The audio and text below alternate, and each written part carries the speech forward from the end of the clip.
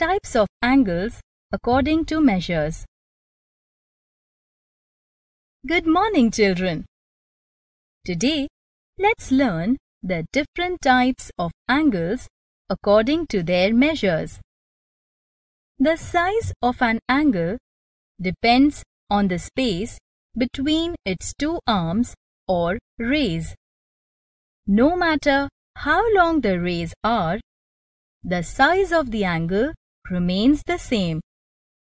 Angles are of five types according to their measurements or size. They are acute angle, right angle, obtuse angle, straight angle, and reflex angle. Let us learn more about each one of them. Acute angle An angle that measures less than 90 degrees, that is, between 0 degrees and 90 degrees, is called an acute angle. Look at the figure. Here, angle ABC measures 60 degrees. So, angle ABC is an acute angle. Next is right angle. An angle that measures exactly 90 degrees is called a right angle. Look at the figure. Here, angle PQR measures 90 degrees. So, angle PQR is a right angle. Coming to an obtuse angle.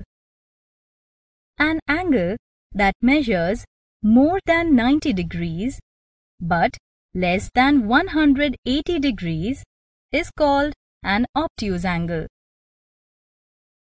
Here, angle LMN measures 140 degrees. So, angle LMN is an obtuse angle. Next is straight angle. An angle that measures exactly 180 degrees is called a straight angle. Here, angle DEF measures 180 degrees.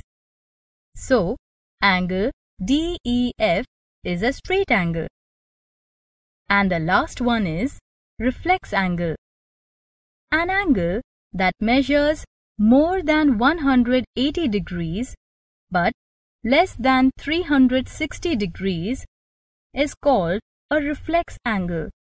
Here, angle XYZ shown by the arrow measures 240 degrees. So, angle XYZ is a reflex angle. Now, I will show you some figures and you name them. What is this?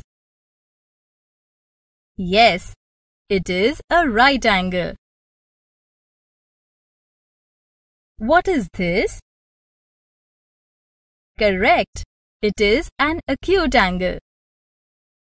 Now, what is this? Right again. It is a reflex angle. Identify the next angle. Yes, it is an obtuse angle.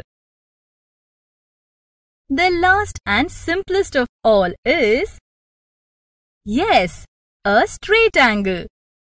Hey kids, wasn't it fun learning about different types of angles?